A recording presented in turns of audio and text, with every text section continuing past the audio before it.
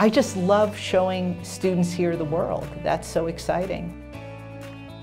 With over 400 million speakers worldwide and being one of the United Nations and U.S. government's critical languages, Arabic opens the door to an exciting world.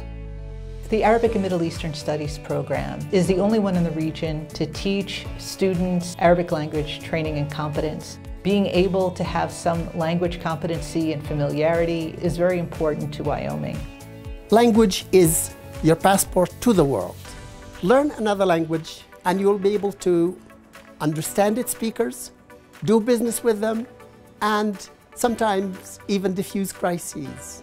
Knowledge of Arabic in particular gives you access to the thinking, cultures, and heritage of over 400 million speakers spread over four time zones and spanning over 14 centuries of history. We offer small classroom settings with low teacher to student ratios. We integrate native speakers and other students and faculty coming from the Middle East and North Africa into our program. We place them in mentor type relationships with our non-native speaking Arabic students in order to enrich that experience of exchange and look forward to our students being able to experience not only an educational opportunity but also a cultural experience. I can learn Arabic the way that I feel like is best for me. So I love the approach that we're taking. I think it's opened my mind to a lot more different things that I'm capable of doing. We want to get you out in the world. We're all about experiential learning. We're all about going into the field. We are the best endowed university in the United States for per capita funding that students can get to travel abroad. So we're excited to say that if you're a part of our program, you'll have a large number of opportunities for you to, to travel and study abroad during the summer or academic year and encourage you to take advantage of those and fund you to do that. I knew I wanted to do something different and then I realized we had this incredible opportunity to study abroad and then I discovered Project Go. I started researching the countries and the languages and something about Jordan and the Arabic language just intrigued me. Honestly, it was one of the best decisions I've ever made.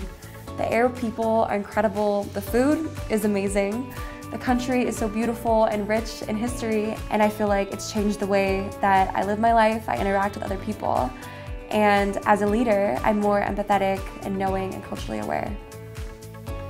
If you have international experience, that's also a huge help for getting a job. Our students have internships with the State Department, with NGOs all over the world, so many different agencies, international agencies. All of those lines on the resume, that really makes a, a big difference. I definitely really like the experiential learning aspect of my studies. I know that's something that students at a lot of universities don't have the opportunity to do, and I think it's one of my favorite aspects of the program.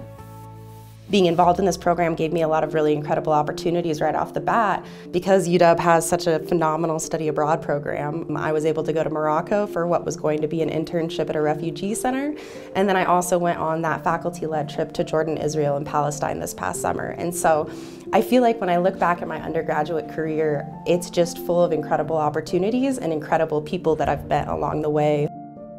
The values that people in Wyoming have and the values that people in the Middle East have, they align so perfectly. Wyoming, they say it's a small town with long streets, and so we take care of each other. I have never met in my life people as nice as the people of Wyoming. It's not difficult to make friends. I'm planning to stay for some time in Wyoming, hopefully forever. I left Wyoming wanting to see the world and then came back here to raise my family because it's such a great place to raise a family. Now I can say that Wyoming is home to me.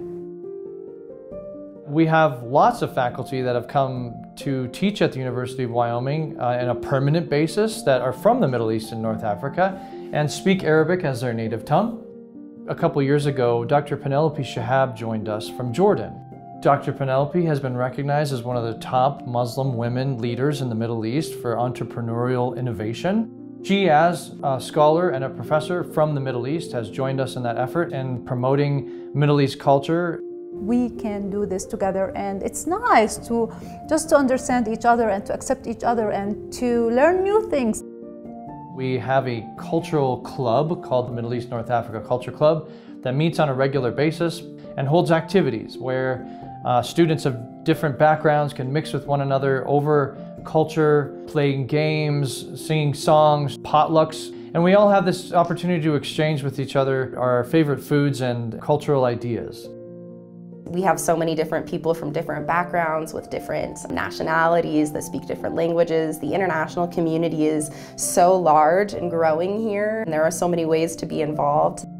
Our door is always open. We're going to be starting a regular coffee hour where students from different backgrounds are able to interact. So join us for that. We hope that you're there. We hope that you take advantage of our different language classes. We hope that you take advantage of the cultural opportunities we can present you. And we're excited to be a part of your journey to professional fulfillment in the future.